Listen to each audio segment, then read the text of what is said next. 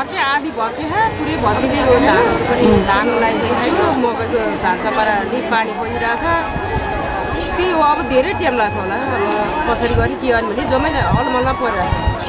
बस्ने बास छैन एकातिर। एक त अब बस्नु भाउलाई के खुवाउनु भने जस्तो भइरहेछ। ठुलो चाहिँ अलिक के गर्ने के गर्ने? अब मान्छेहरू धेरै मान्छेहरू अब यो भनौँ न खेतहरू बारी खेतहरू हुने मान्छेहरू नजुटिकन सबैजना नलाइकन छिट्टै आइहाल्छ भन्न सकिन्न।